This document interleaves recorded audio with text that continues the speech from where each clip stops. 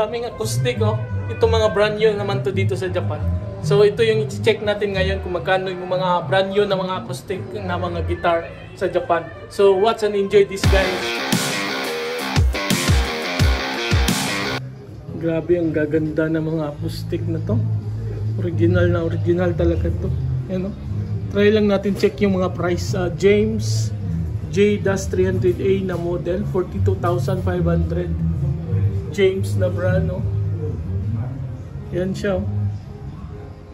So, ito James din to. Same price sila. James, James. Ito Yamaha. FS 830 TBS. Ganda, oh. Yamaha siya. So, yan, oh, ang gaganda, ang dami nito. Ito mga Yamaha, oh. Yamaha to lahat, oh.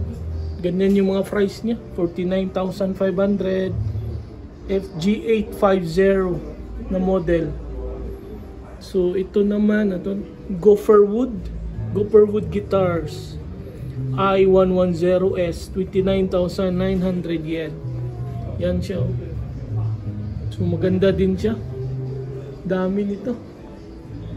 Ito talaga na ano, maganda dito ano, bumili ng mga acoustic sa Japan. Kaso medyo mahal na lang siya. Yan oh, ang dami pa nito. So, meron din silang ano, pailan nila na nakasale. Ito acoustic to na nylon yan. Ah, Steve Toria na ano, brand siya 69,900 yen na lang siya sale from 82,500 so yan na lang yung price niya so medyo masakit pa rin yan sa bulsa. Pero magaganda kasi ito ng mga klase. Matun Performer. 286,000 yen. Yan siya. Gaganda ng mga design. Halatang halatang ano talaga. Original na original talaga to. Yung price pa lang niya. Ang gaganda. Ito. Skikter.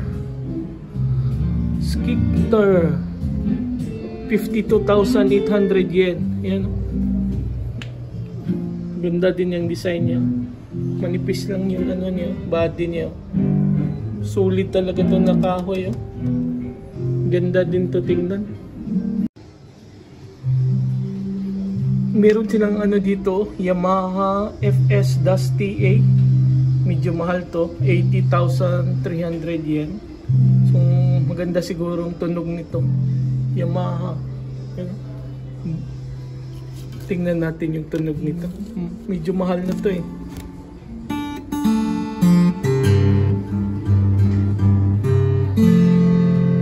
Yan, oh, Yamaha. Yamaha Japan yata to. Uh, Yamaha Corporation. So yan siya. oh. Ganda nito. 80,300 yen. Medyo maganda talaga ito na ano, guitar. Try natin itong tag ano, 80,300 yen na ano, guitar. Ganda nito, Yamaha. Ganda siguro ng tunog nito.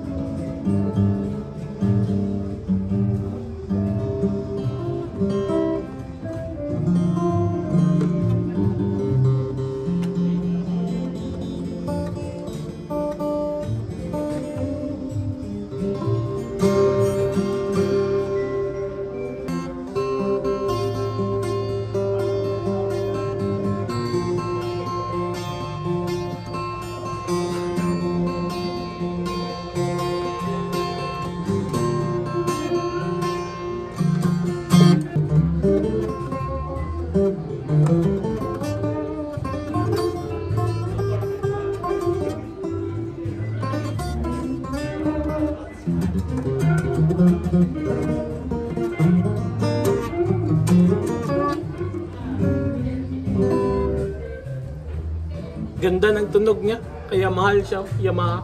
Ganda ng tunog niya guys. Ito mga mahal to. Martin na brand. Yan oh.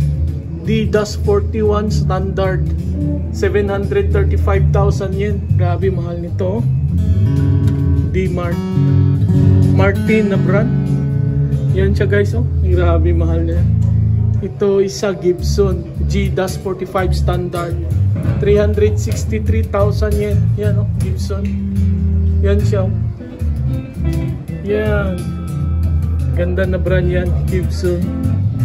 Ito, ah, Maton. Maton na brand, ah, SRS 80HC brand. Ah, model, ah, 330,000 yen. Yan siya. oh. Ito mga mahal talaga ito na ano, mga acoustic. Meron silang nakasale, oh. Gibson G Writer EC. Nakasale siya, yan Gibson. Yung price niya from 198,000, 179,900 yen na lang. Yan no, sale siya, Gibson. Ganda din niya oh, ganda ng kahoy nito. Ganda niya. Magagandang tunog to. Di lang natin to ano, galawin baka makasira tayo. Ang mahal pa naman nito. Yan oh, ah, Martin. Ito Taylor. Ayan oh. Taylor 314C V-Class 349,000 yen. Yan oh, Taylor siya. Taylor brand. Acoustic. So dami dito. So yan, it- ito maganda din to na brand no. Epiphone uh, Master Beat Texan 98,230 yen. So yan. Epiphone na brand. Acoustic. Dami dito. Ito history. Maganda din to na brand history ano. So NT the C4 model uh, 185,000 yen. So ang ganda nito, yung mga quality talaga nito, yung mga kahoy niya, design nito, ang ganda nito. Ang ganda to ng mga tunog, original na original to. Mga ganito. Kaya yung mga price niya mahal talaga siya. Ito sila, mga acoustic na ano. ah pwede ka mag ano dito, ah, cable kasi electric style siya na acoustic yun. Ah, Yamaha na brand pala to. Ay, use pala siya. Use siya. Kaya pala medyo mura siya. 13,800 yen na lang siya. Yan no, pasok yung kamay mo. Butas siya eh. Actually, butas siya. Yan no. Nylon yung string niya. Yan no, use. Yung hindi use, yan. Ito hindi to use. Oh. Yamaha SLG 200 N NW 79,200 yen. Nylon siya. Oh, wala kang marinig na tunog kasi ano siya. Yan oh. Electronic siya eh. So, maganda siguro mga tunog nito. Hindi ko pa to narinig mga ganito. Ayan, oh, marami din pala sila. So, check natin. Ah, ito. Japanese designer to. Kiyari. Uh, SRF ME1.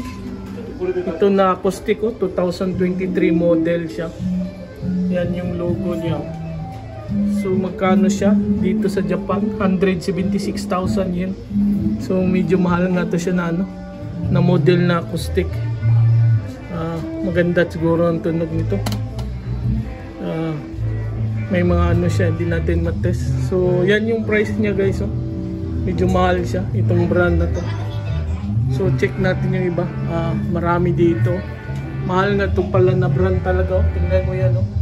Same brand sila. 228,000 yen. Yan oh. Mahal na siya na acoustic. Mahal siya. So another James brand. 99,500 acoustic.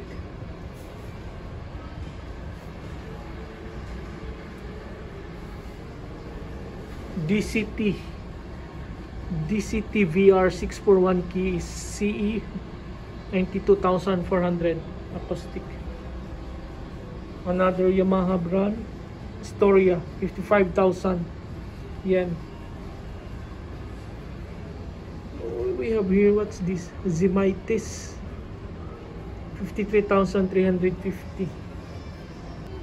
This one first first yellow 330,000 yen.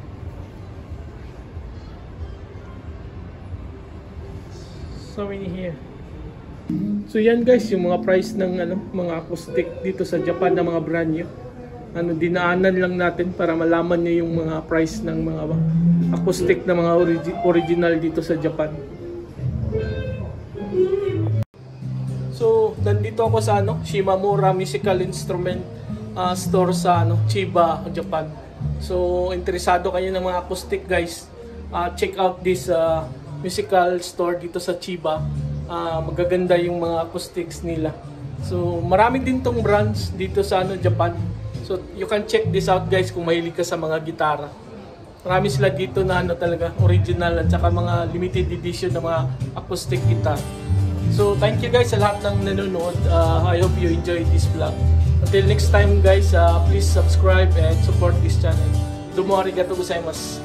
Bye!